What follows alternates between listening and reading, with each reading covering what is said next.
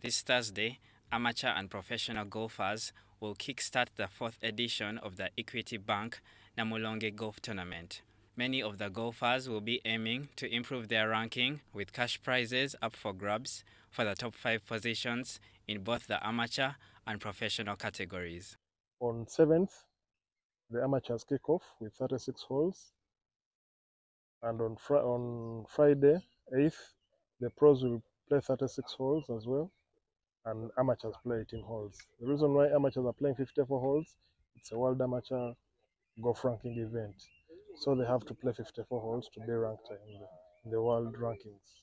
According to the managing director of Equity Bank, Mr. Anthony Kituuka believes that Namulonge is the place where golfing dreams begin, as he stated that the course is in good condition. We have a longer term vision for Namulonge 18 holes, more facilities. We're planting trees. To, it's already a nice agricultural institute, but planting more trees to contribute. We're building an orchard somewhere here. So all those things will make Namulonge one of the this cradle of golf. People will begin their first journey in golf in a very good location. We are also concerned about the environment, about agriculture. As a partner, it is a very good place to showcase our commitment to society and to community. Equity Bank is funding the event with 175 million Uganda shillings for a successful tournament, with a portion of the funds going towards the construction of the halfway house.